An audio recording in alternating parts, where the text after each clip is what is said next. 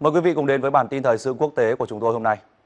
Báo Nga nói Moscow tập kích điểm tập trung 1.500 lính Ukraine. Truyền thông Nga nói rằng nước này phóng loạt tên lửa mang đạn chùm nhằm vào thao trường, có mặt 1.500 binh sĩ Ukraine chuẩn bị tăng viện cho Abdiivka. Hãng tin Lenta của Nga hôm nay nói rằng quân đội nước này đã tiến hành đòn tấn công dữ dội nhằm vào thao trường huấn luyện của lực lượng vũ trang Ukraine tại thành phố Zelidovo thuộc tỉnh Donetsk, cách thành trì Abdiivka khoảng 35 km về phía đông. Nhiều tiểu đoàn Ukraine với tổng quân số khoảng 1.500 binh sĩ có mặt ở khu vực mục tiêu trước khi xảy ra đòn tấn công. Họ đang tập kết để chuẩn bị tăng viện cho thành phố Avdiivka. Hoạt động này diễn ra công khai do lực lượng Nga hiếm khi tập kích quy mô lớn ở cách xa tiền tuyến như vậy, hãng tin Nga cho hay. Truyền thông Nga cho biết đòn đánh mở đầu bằng nhiều tên lửa đạn đạo Iskander mang đầu đạn chùm có khả năng gây sát thương lớn cho bộ binh và khí tài vỏ giáp mỏng ở nơi trống trải. Đợt tập kích thứ hai diễn ra sau đó khoảng 1 giờ trước khi quân đội Nga tung đòn đánh bồi thứ ba vào thời điểm chưa xác định. Ngoài tên lửa Iskander, lực lượng Nga dường như cũng huy động pháo phản lực hạng nặng Uragan và Smerch cho đòn tấn công. Dữ liệu sơ bộ cho thấy có ít nhất 300 người đã tử thương, bản tin có đoạn. Bộ Quốc phòng Nga và quân đội Ukraine chưa bình luận về thông tin. Thông tin xuất hiện trong bối cảnh Nga tiếp tục siết vòng vây quanh Avdiivka, đồng thời tăng cường tập kích khu vực hậu phương đang duy trì tiếp tế cho thành trì này. Giới chức Ukraine hồi tháng 1 cho biết Nga đã tập trung khoảng 40.000 quân gần Avdiivka để xuyên phá phòng tuyến ở thành phố. Giành được Avdiivka sẽ giúp quân đội Nga mở rộng thêm 50 tới 60 km trên tiền tuyến, tạo nên cửa ngõ từ thủ phủ Donetsk tới các thành phố khác như Konstantinovka ở phía bắc, tiến gần hơn tới mục tiêu kiểm soát hoàn toàn tỉnh Donetsk. Ukraine chuyển pháo HIMARS hư hại về Mỹ. Hình ảnh mới công bố cho thấy hai tổ hợp pháo phản lực HIMARS Ukraine bị hư hại được vận tải cơ đưa tới Mỹ để sửa chữa. Chuyên trang quân sự Warzone của Mỹ hôm 12 tháng 2 công bố video tại sân bay quốc tế Harrisburg ở thành phố Middletown thuộc bang Pennsylvania cho thấy hai tổ hợp pháo phản lực M142 HIMARS được dỡ từ vận tải cơ An-124 Ukraine và đưa tới địa điểm không xác định. Xe phóng đầu tiên có nhiều chữ thập trắng, dấu hiệu nhận dạng khí tài của quân đội Ukraine, dường như bị trúng mảnh văng từ đạn pháo của Nga. Phân tích hình ảnh cho thấy ít nhất 16 lỗ thủng trên thân xe và lốp trước bị xịt, trong khi cả hai tấm kính chống đạn trước buồng lái cũng bị hư hại, nhưng xe có vẻ không chịu tổn thất nặng. Xe thứ hai nhiều khả năng bị trúng mìn và chịu thiệt hại nặng hơn. Bánh trước bên phải và một phần sàn buồng lái bị thổi bay, khiến các kỹ thuật viên phải tì trục xe lên các khối gỗ để giữ cân bằng. Đây là những hình ảnh đầu tiên có sức thuyết phục nhất về hệ thống HIMARS của Ukraine bị hư hại và loại khỏi vòng chiến. Nhiều khả năng chúng đang được đưa về nhà máy sửa chữa, cây bút Thomas Newdick nhận định. Bộ Quốc phòng Mỹ và quân đội Ukraine chưa bình luận về hình ảnh. Mỹ viện trợ phá phản lực ma cho Ukraine từ cuối năm 2022 với tổng cộng 39 xe phóng đã được chuyển giao.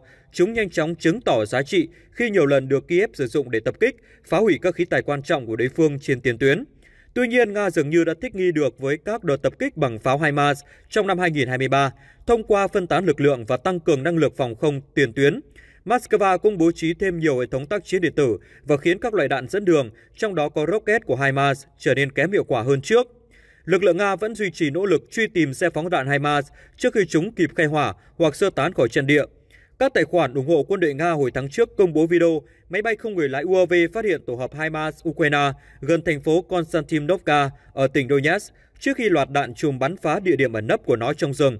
Bộ trưởng Quốc phòng Nga Sergei Shoigu cũng chứng kiến video đòn tập kích tên lửa nhằm vào pháo HIMARS ở làng Belaya, Krynitsa khi thăm sở chỉ huy lực lượng tham gia chiến sự hôm 9 tháng 2 vừa qua.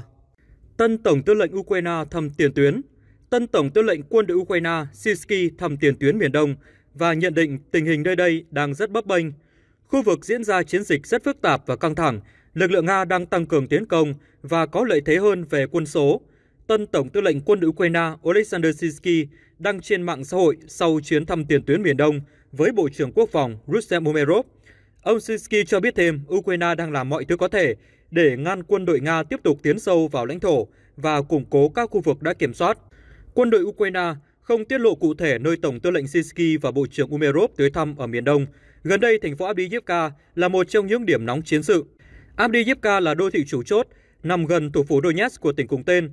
Thành phố hiện do Ukraine kiểm soát và là một trong những mục tiêu tấn công của Nga trong khu vực. Lực lượng Nga những tháng gần đây dồn lực tấn công Avdiivka và tuyên bố giành được nhiều thắng lợi ở mặt trận này. Giành được Avdiivka sẽ giúp quân đội Nga mở rộng thêm 50 tới 60 km trên tiền tuyến, tạo nên cửa ngõ từ thủ phủ Donetsk tới các thành phố khác như Konstantinovka ở phía bắc, tiến gần hơn tới mục tiêu kiểm soát hoàn toàn tỉnh Donetsk.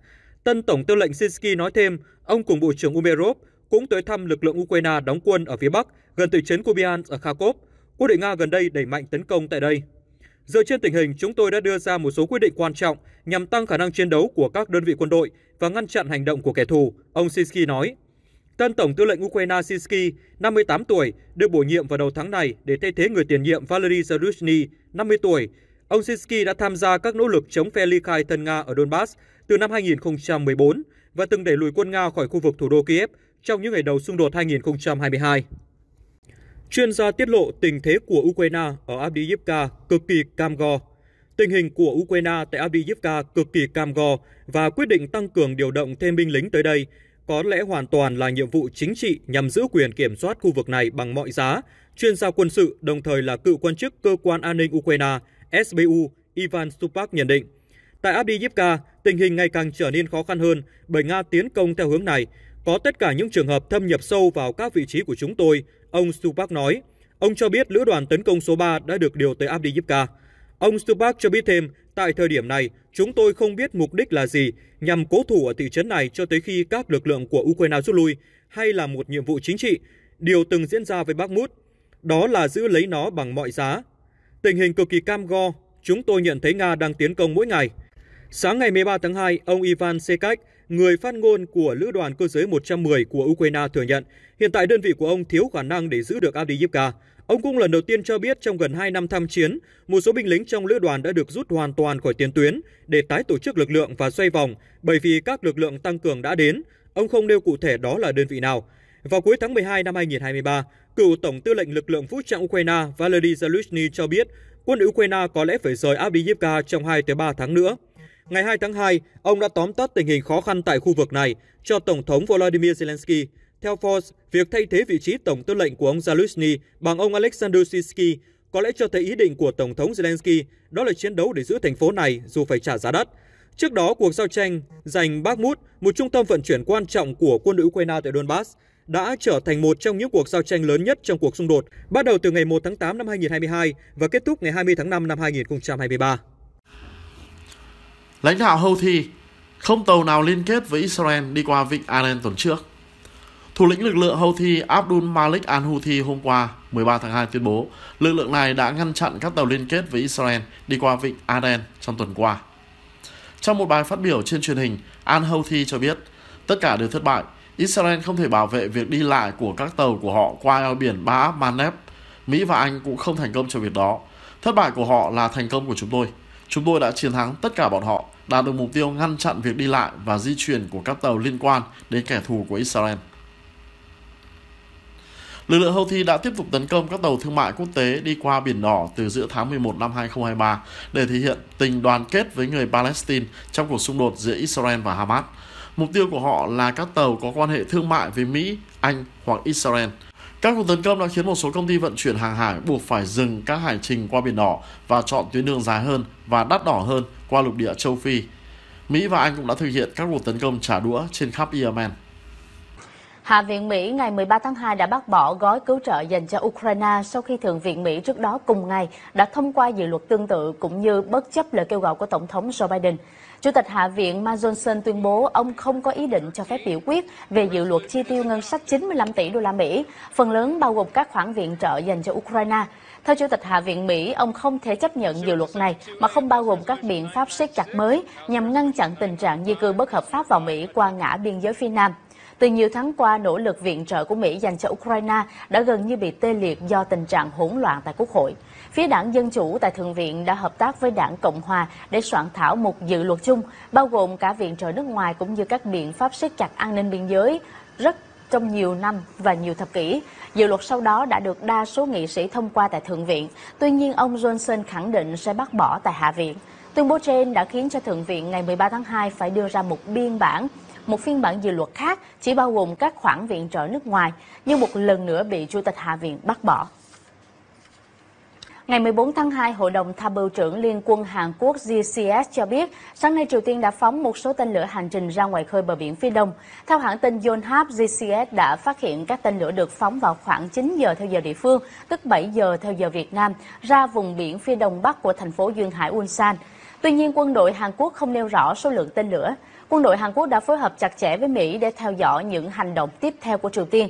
Đây là lần thứ năm Triều Tiên phóng tên lửa hành trình kể từ đầu năm tới nay. Bình Nhưỡng đã tiến hành các vụ thử vũ khí bao gồm phóng tên lửa hành trình từ biển và đất liền, cũng như bắn pháo vào vùng biển gần hải giới Liên Triều ở phía Tây.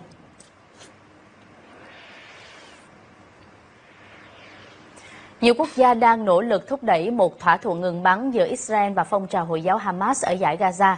Áp lực quốc tế về một lệnh ngừng bắn ngày càng gia tăng khi chiến sự tại Gaza đã cướp đi sinh mạng của hơn 28.000 người và xung đột vẫn chưa có dấu hiệu hạ nhiệt. Truyền thông Ai Cập đưa tin, ngày 13 tháng 2, Giám đốc Cơ quan Tình báo Trung ương Mỹ CIA William Burns, Giám đốc Cơ quan Tình báo Israel David Barney và Thủ tướng Qatar Mohammed bin Abdurrahman Al Thani đã gặp các quan chức Ai Cập ở Cairo để thảo luận về một lệnh ngừng bắn ở Gaza.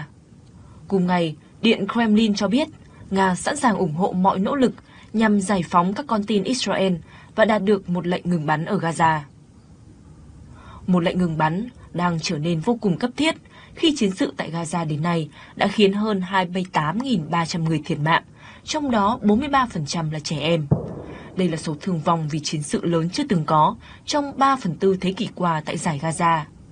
Nhiều nhà phân tích lo ngại số thương vong này có thể tăng vọt nếu quân đội Israel triển khai kế hoạch tấn công bộ binh vào Rafah, nơi trú ngụ của khoảng 1,5 triệu người Palestine, tức hơn một nửa dân số toàn giải Gaza.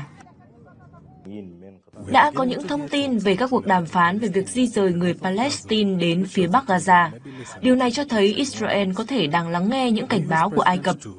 Tổng thống Mỹ dường như cũng đang xem xét lập trường của Ai Cập và có áp lực từ Mỹ, châu Âu và Liên Hợp Quốc đối với Israel. Sự leo thang ở Rafah có thể khiến toàn bộ khu vực rơi vào thảm họa.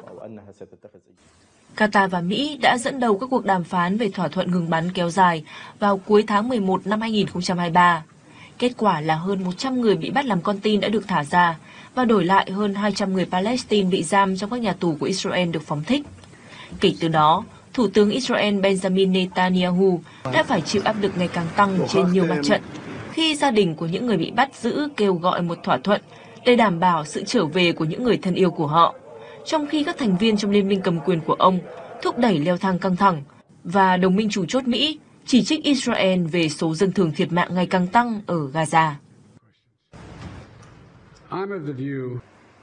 Hôm nay ngày 14 tháng 2, cử tri Indonesia sẽ đi bỏ phiếu để bầu ra tổng thống mới, người sẽ dẫn dắt Indonesia trong nhiệm kỳ 5 năm tới.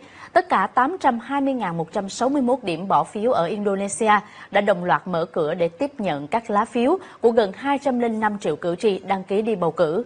Cuộc bỏ phiếu bắt đầu lúc 7 giờ sáng và kết thúc lúc 13 giờ cùng ngày. Phiếu bầu sẽ được kiểm tại điểm bỏ phiếu ngay trong ngày.